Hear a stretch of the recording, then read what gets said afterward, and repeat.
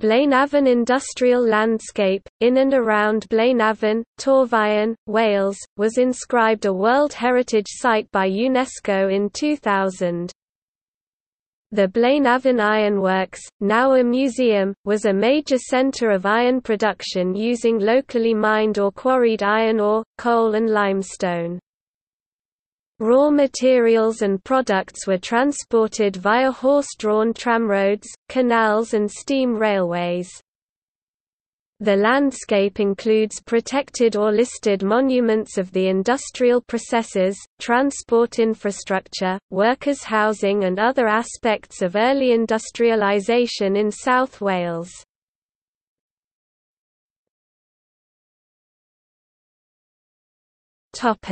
Location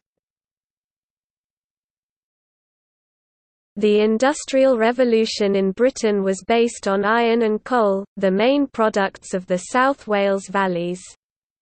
Production of pig iron in the region grew from 39,600 tonnes in 1796 to 666,000 tonnes in 1852, and the iron was used to build railways, factories and engines around the world.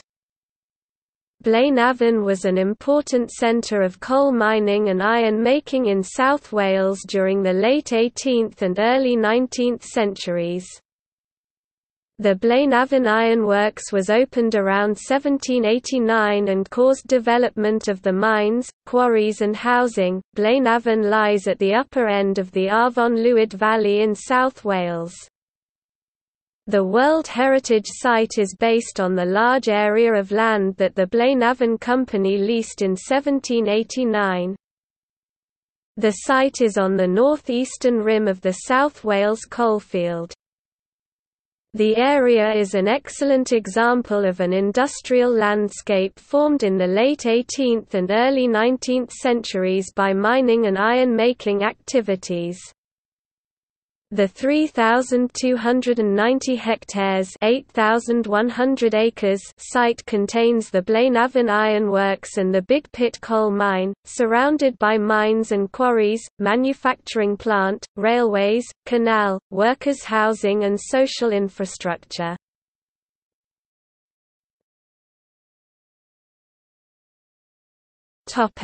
Elements of the landscape The Blaenavon Ironworks, now managed by Sadwrn, operated from 1789 to 1902. Today there are remains of six blast furnaces, cast houses, boiler rooms, engine houses, the water balance tower used to raise and lower railway trucks, and workers' housing around Stack Square. The remains of the furnaces from the late 18th century and the 19th century are well preserved. Other elements include the 1839 water balance tower, two casting houses, ruined kilns, the base of the massive chimney of the blowing engine, the cast iron structure that carried the blast pipes to the furnaces and ruins of workers' housing. The Big Pit was the last deep coal mine to remain operational in the area. The surface buildings, winding gear and underground workings are still in excellent condition. The Big Pit coal mine, now managed by Amgueddfa Cymru, National Museum Wales, was worked from around 1860 until 1980. The original pithead buildings have been preserved, including the head frame, winding engine and baths. The Big Pit Colliery was reopened as a museum in 1983. Visitors may take an underground tour. In 2005 it won the Gulbenkian Prize for Museum of the Year. Extant buildings from the early industrial period include Ty Mawr Big House, also known as Blaenavon House, built for ironmaster Samuel Hopkins in 1791, workers' housing terraces, St Peter's Church 1804, St Peter's School 1816, and the Blaenavon Workmen's Hall 1894. Other elements of the industrial landscape are the mines and quarries from which coal, iron ore, fire clay and limestone were extracted.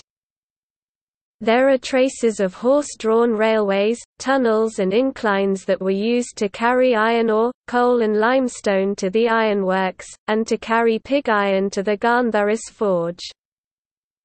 Wrought iron was taken from the forge to Llanfoist on the Brecknock and Abergavenny Canal for transport to other parts of Britain and the world. There are walks and trails along which visitors may explore the landscape. Waymarked footpaths follow the tracks of the earliest iron railways. The Pontypool and Blaenavon Railway was once an important transport facility. The steam railway has been restored and has a station in the centre of the town.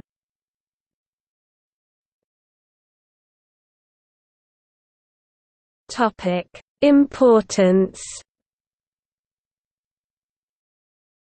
A 33 square kilometers, 13 square miles area of the Blaenavon industrial landscape was inscribed as a World Heritage Site in December 2000. Blaenavon was the first cultural landscape to be recognized in the United Kingdom. About £40 million was spent in the first 10 years. The landscape meets two criteria for a World Heritage Site. Criterion E, an exceptional illustration in material form of the social and economic structure of 19th-century industry.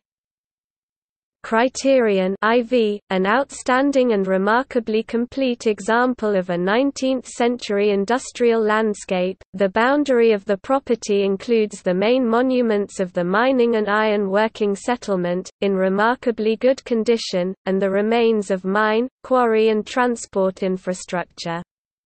It is possible to trace the complex industrial process and its social aspects in the early Industrial Revolution.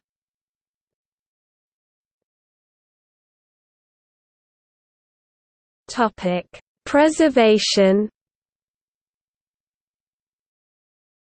The landscape includes 24 scheduled monuments and 82 listed buildings, of which the most important are publicly owned.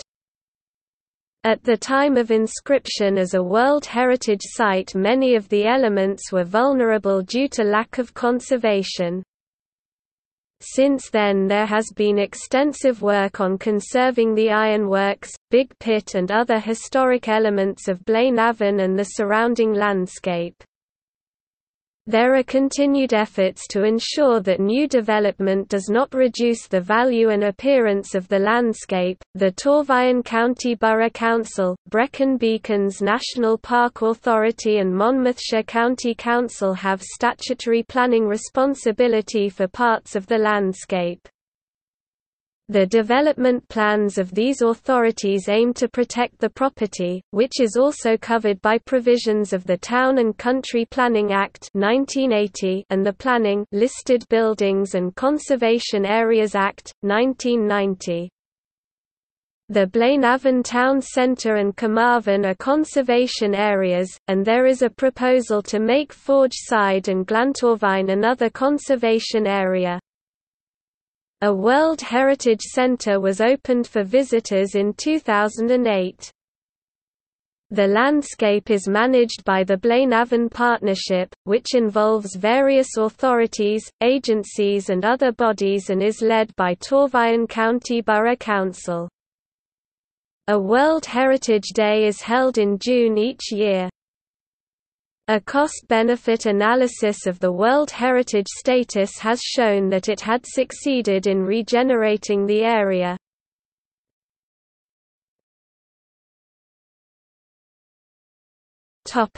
Notes